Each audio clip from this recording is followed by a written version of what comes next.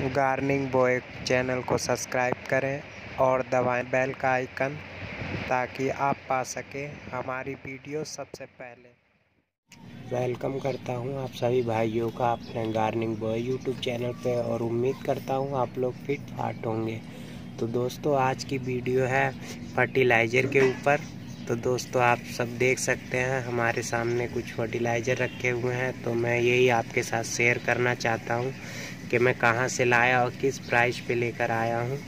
तो चलिए वीडियो शुरू करते हैं। तो दोस्तों, ये देखिए, ये नीम की खली है। ये 250 ग्राम का पैकेट है, जो मेरे को टेन रुपीज़ का पड़ा है। और ये मैं पाँच पैकेट परचेज़ करके लाया हूँ। और ये है जिंक। ये मेरे को टेन रुपीज़ पड़ा है। तो ये मैं दो पैकेट लेकर आया हूँ और ये है डीएपी ये मेरे को टेन रुपीज़ पड़ा है और ये है बोन मील ये बॉन मील भी ढाई सौ ग्राम का पैकेट है तो ये मैं पाँच पैकेट ले आया हूँ तो ये पैकेट मेरे को टेन रुपीज़ के पड़े हैं।